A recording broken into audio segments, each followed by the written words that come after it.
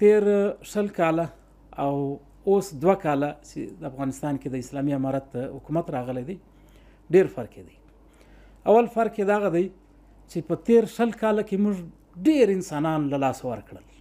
په تیر شل کاله کې موږ ډیر خوندې کونډې سولې په تیر شل کاله کې موږ ډیر مندې بوري سولې په تیر شل کاله کې موږ ډیر بچان اعتماد سول خو الحمدلله چې کله د افغانستان اسلامي امارت راغلی دی د وینې تویدلو او د مړونو سلسله بنده سوله دا ډیر واضح فرق دی یو